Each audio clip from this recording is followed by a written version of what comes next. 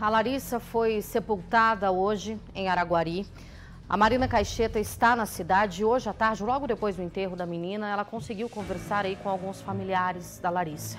Essa família que está transtornada, visivelmente abalada, todo mundo passando por um momento extremamente delicado e se apegando às boas lembranças da Larissa nesse momento de tanta dor, né, Marina? Porque acho que é o único acalento que eles conseguem ter por agora.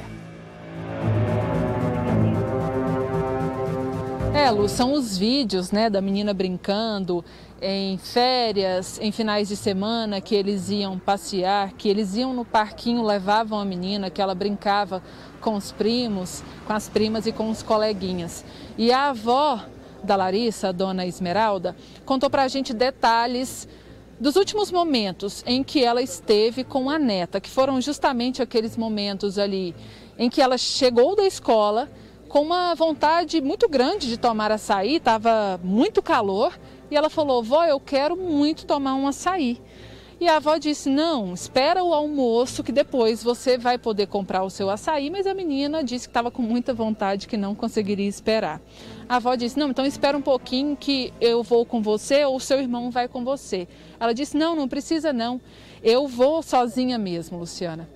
E aí ela conta mais detalhes na entrevista que a gente vai ver agora. Pode soltar. Ela chegou da escola, era 11h15. Aí ficou um pouquinho ali dentro, aí ela, falou, ela chegou com as moedinhas do sofá, estava eu e meu esposo lá assistindo televisão. Ela, ela pediu cinco reais para inteirar o dinheirinho dela para comprar um açaí. Aí eu falei para ela, eu, a, um pouquinho, que eu tenho só 20 reais, eu, eu vou com você ali para você nós trocar o dinheiro. Aí ela falou, não, vó, eu, eu troco, vou chamar o Pedro, que é o irmãozinho dela, para ir comigo. Mas ele estava fazendo as tarefinhas dele de escola e ele falou que era para esperar, que aí ele ia depois com ela. Mas ela queria ir naquele momento. Ela estava com muita vontade também. É. Eu falei, mas você tem que almoçar, você nem almoçou. Ela falou, não, eu quero ir comprar. Eu quero agora. E estava naquela insistência que queria ir. Aí eu acabei dando dinheiro para ela, eu falei, então vai, vai lá, compra. Sei, mas é aqui pertinho? Eu falei, não, é aqui na padaria.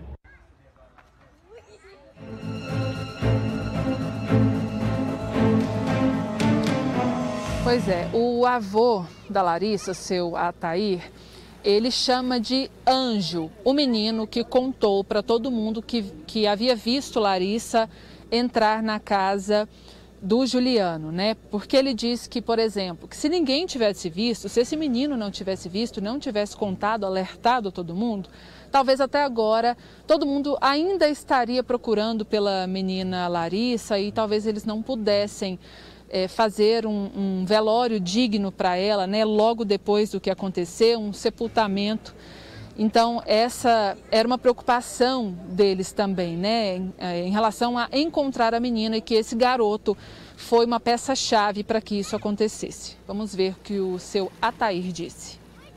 Aí teve esse anjo que viu a menina descendo e ele cercando ela lá. É, e daí foi 11 horas, duas e meia, quase três horas, nós desesperados procurando, é, é, é procurando a menina, não encontrava. Aí esse ano falou, não, nós viu ela ali. Aí foi um João e outro pessoal e foram lá. E, daí, não, é, é, ela até aqui, não, não está aqui não. Não, mas ela vinha descendo e sumiu nesse rumo aqui, então vai estar tá aí. Não abra a porta para nós. Aí a mãe dele veio abriu.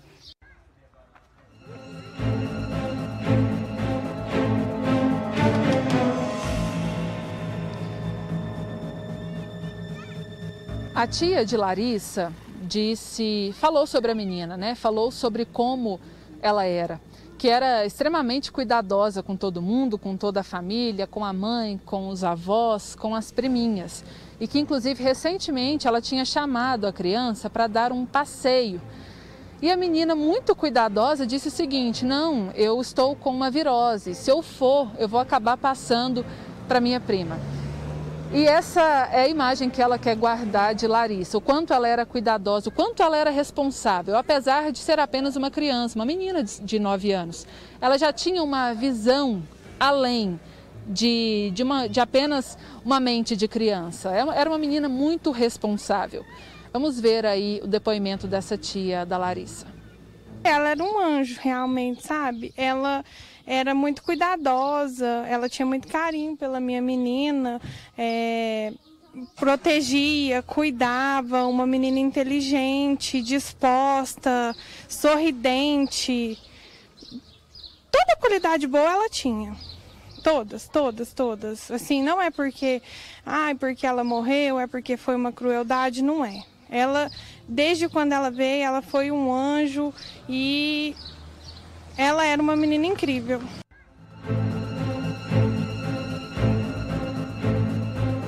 Aqui a gente teve só elogios da Larissa.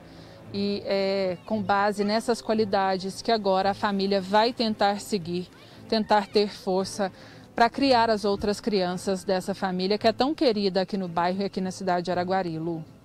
É uma lembrança que fica, mas como disse a tia, ela era um anjo e anjos voltam para o céu. Ela agora volta a ser um anjinho que sempre cuidou de todo mundo, que sempre trouxe alegria, mas vai cuidar da família agora lá de cima. Os nossos mais sinceros sentimentos, toda a nossa solidariedade e as nossas orações pela Larissa e pela família. Cidade Alerta vai para um rápido intervalo. Daqui a pouco eu estou de volta.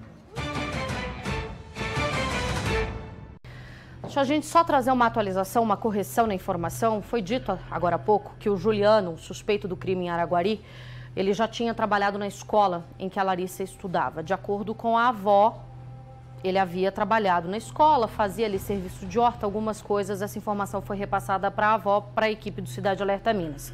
Só que a diretora da unidade acabou de entrar em contato conosco, dizendo que ele nunca trabalhou, nunca prestou serviço no local. Vamos continuar aqui trazendo mais informações. Eu vou voltar a falar com a Marina Caixeta, porque tem um detalhe nessa história que a gente bateu muito nessa tecla, né? Porque a família passou a ter aí vários dedos apontados para ele, mas na verdade essa família sempre teve muito medo que a Larissa saísse sozinha. Eles respeitavam muito essa liberdade, essa independência que a Larissa tinha, mas o cuidado em cima dela nunca faltou, né, Marina? De fato, ontem foi uma situação atípica e infelizmente acabaram sendo vítimas dessa tragédia.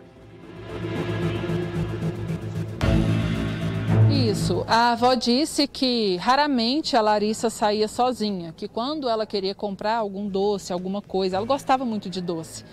Igual a toda criança gosta, né? Ela às vezes dava vontade de sair, comprar alguma coisa, sempre ia alguém com ela, né? O irmão, que era um pouco mais velho, também a avó ou o avô ou algum tio, alguém sempre acompanhava ela nesses locais, mesmo que eles fossem pertos da casa dela, né? Aqui a gente viu que tem alguns comércios que ela costumava frequentar bastante a 100 metros de distância, a 80 metros de distância, então tudo muito perto por aqui.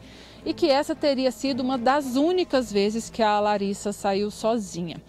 O avô dela, ele tem, tinha um carinho muito grande, né? Isso a gente viu nos olhos dele o quanto ele amava a neta e também as qualidades que ela tinha de cuidar de todo mundo e que ela estava aprendendo a cozinhar e que ela adorava cozinhar para todo mundo, Lu.